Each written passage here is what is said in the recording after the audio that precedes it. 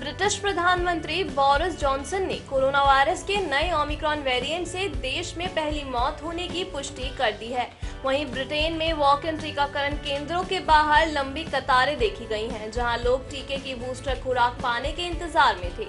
Johnson ने Omicron variant के कम गंभीर होने को लेकर संतोष का भाव होने के खिलाफ चेतावनी दी है और ओमिक्रॉन से निपटने के उपायों के तहत अब और प्रतिबंध नहीं लगाने की संभावना से भी इनकार कर दिया है। आपको बता दें कि भारत में भी ये वेरिएंट तेज़ी से फैल रहा है और अभी तक कुल मामले इकतालीस हो गए हैं।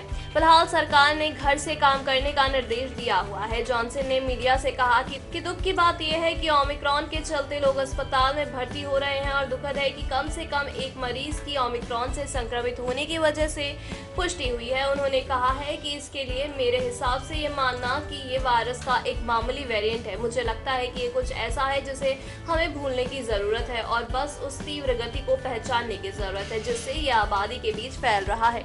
इससे पहले बोरिस जॉनसन ओमिक्रॉन वेरिएंट की भीषण लहर को लेकर चेतावनी भी दे चुके हैं। फ़िलहाल ओमिक्रॉन के खतरे को देखते हुए ऐसा लग रहा है कि दुनिया कहीं पर लॉकडाउन के शिकंजे में ना आ जाए। दरअसल नॉर्वे ने ओमिक्रॉन के खतरे को भागते हुए लॉकडाउन का ऐलान भी कर दिया है।